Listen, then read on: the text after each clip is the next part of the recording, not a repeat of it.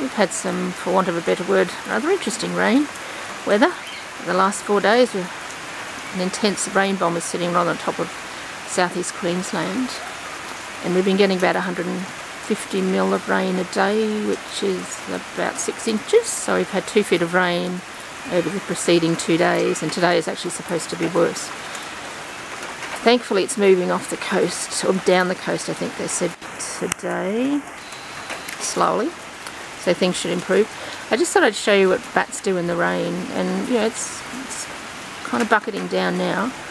Although they have a fully enclosed bedroom that is complete with blankets and towels, and it's completely waterproof, the blacks and the greys still like to hang out in the rain, so they, it's really bucketing now. They wrap their leather raincoats around them and they tuck their little noses up into the, you can see that one in the middle is just doing that, and they just stay dry. They're warm and dry in there.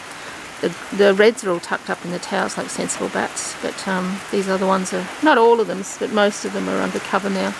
They've had enough of it after a couple of days, but uh, they're lucky here. At least they're being fed. The wildies be doing it really tough, though I do think there's some figs fruiting at the moment, which may be their salvation, hopefully. Oh yeah, there we go. We'll just hang here all day in the rain. Riveting. at least it's good to know that they're warm and dry under those leathery raincoats anyway. And we'll hope for better days tomorrow.